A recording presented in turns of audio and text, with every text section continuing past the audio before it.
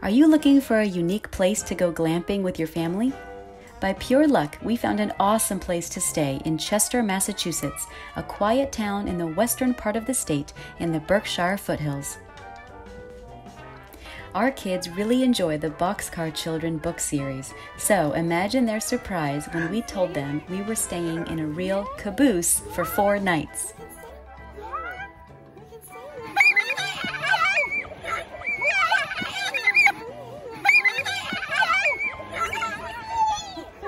The Chester Railway Station and Museum has a charming old 1919 caboose which sleeps four comfortably.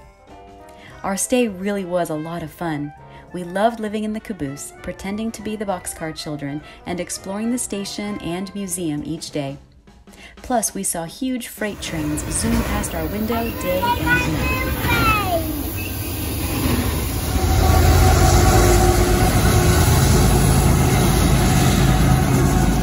Dave Pierce, the museum's host and president of the Chester Foundation, is a wealth of knowledge about Chester and the history of the Western Railroad. This was the first railroad in the country to go over a mountain and through wilderness. It was also the longest railroad of its time, stretching 150 miles. Dave's hospitality was fantastic as he guided us through the memorabilia in the museum and set up a different model train for us to enjoy each day.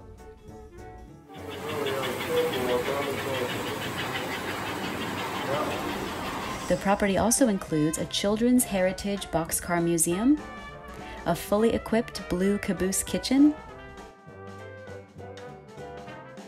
and a 1923 tank car.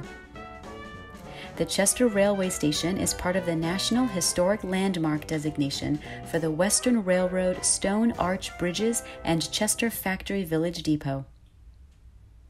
If you're interested in visiting the museum or staying in the caboose, visit their website, chesterrailwaystation.net, to read all about it.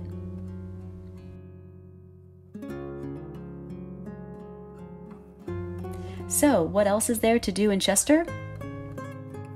Start your day with coffee and a hearty breakfast at Carm's, which is located in an old, charming Mobil gas station building. Then head out on any of several short walks around town. Chester was incorporated as a town in February of 1783, and the Western Railroad, later named the Boston and Albany Railroad, opened to Chester in May of 1841. Chester is known as the gem of the valley and has a proud history as home to the granite and emery industries. If you're looking for a longer hike, head a couple of miles north of town to the Keystone Arch Bridge Trail. This beautiful 2.5 mile one way trail follows the railroad and the Westfield River. It offers terrific views of the Keystone Bridges, which were built in 1840 for the Western Railroad.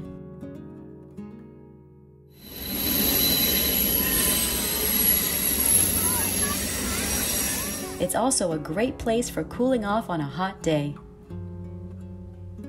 If you enjoyed this video, please subscribe and share it with a friend, and check out our travel resources guide in the description below to help you plan your next trip. Happy travels!